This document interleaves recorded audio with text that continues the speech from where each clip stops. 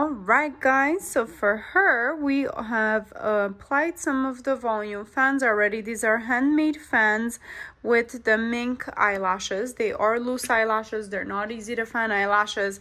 We're using these to get a different look compared to the Mega Easy Fanning eyelashes. You can get a smaller base and bigger fans using the pinching method to do your handmade fans. So I want to demonstrate that for you guys as a as another option. I know we haven't really shown this in too many of the videos, so I hope you enjoy it and see the difference of the look.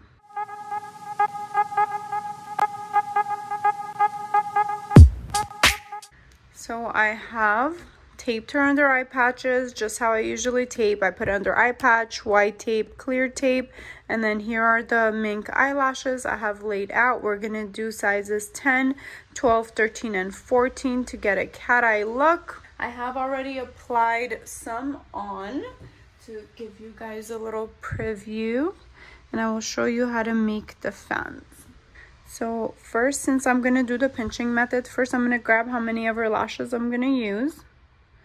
So I'm going to grab about that much. I want pretty thick fans. But remember again, not ever double the thickness of her natural lashes. Then I'm going to pinch at the base. When I pinch, I let go of the top part so it could fan out. Then I'm going to grab it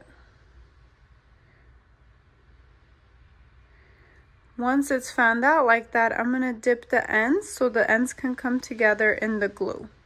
Once it's in the glue, just a tad bit, I'm going to go ahead and isolate quickly. And since the glue is already drying, I'm going to dip it again in the glue. So it's kind of like double dipping, but your initial dip should be very little to just hold them together. Then I'm going to either apply it right on top, just like I did. Oops. Let's have it focus right there. So we're going to apply it right on top, just like I did. You can also wrap it around the natural lash or put it underneath. And I will show you guys those techniques as well. So let's focus back on the lashes. I'm to grab a bunch.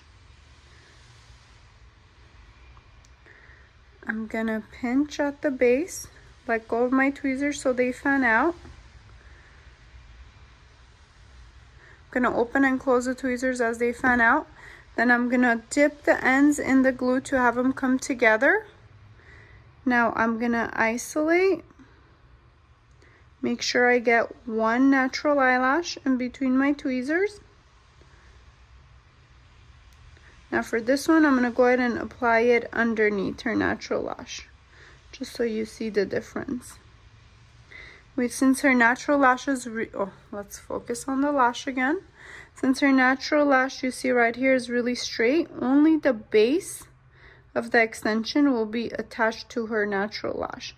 I can fan, I can perfect my fan while it's already on there and drying after I place it.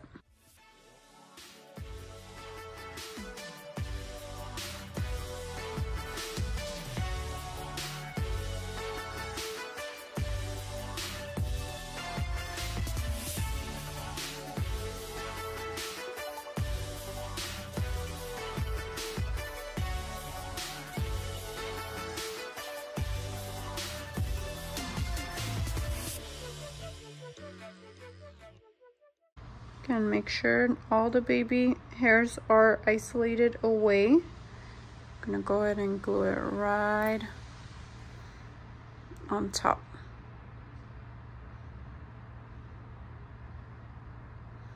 Okay, so let me focus back on the eyelashes.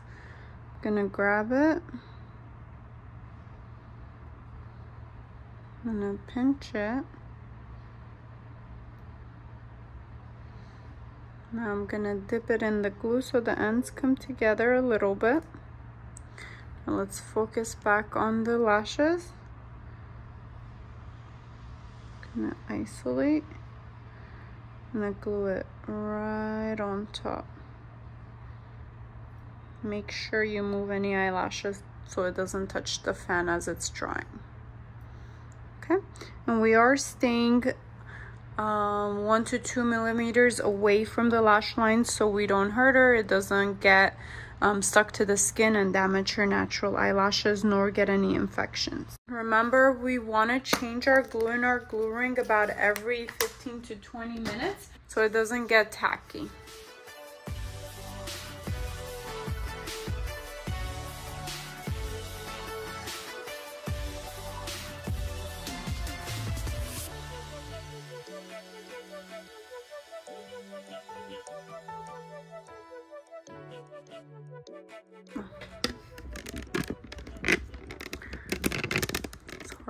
Place the camera at the right spot. Oh, that's a great blooper.